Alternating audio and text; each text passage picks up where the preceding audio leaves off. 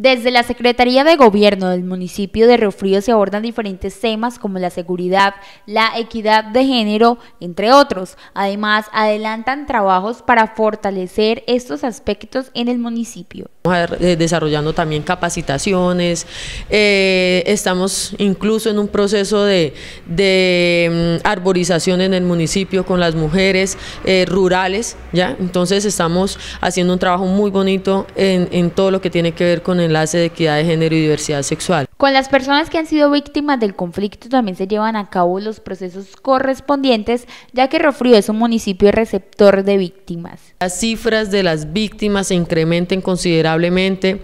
Con la personería municipal estamos haciendo un trabajo muy articulado, precisamente para brindar esa garantía de derechos a las víctimas del conflicto.